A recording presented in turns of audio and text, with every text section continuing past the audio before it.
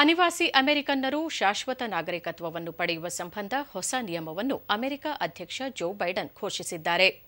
ಅಮೆರಿಕದಲ್ಲಿ ಕನಿಷ್ಠ ಹತ್ತು ವರ್ಷಗಳ ಕಾಲ ನೆಲೆಸಿರಬೇಕು.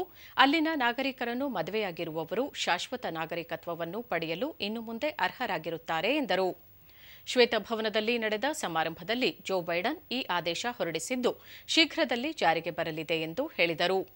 ಈ ಮೂಲಕ ಅಮೆರಿಕನ್ ಪ್ರಜೆಯನ್ನು ಮದುವೆಯಾಗಿರುವ ಲಕ್ಷಾಂತರ ವಲಸಿಗರಿಗೆ ಪೌರತ್ವವನ್ನು ಒದಗಿಸಲು ಸರ್ಕಾರ ಮುಂದಾಗಿದ್ದು, ಇದರಿಂದ ಸುಮಾರು ಐದು ಲಕ್ಷ ವಲಸಿಗರನ್ನು ಗಡೀಪಾರು ಮಾಡುವುದರಿಂದ ರಕ್ಷಣೆ ದೊರೆಯಲಿದೆ.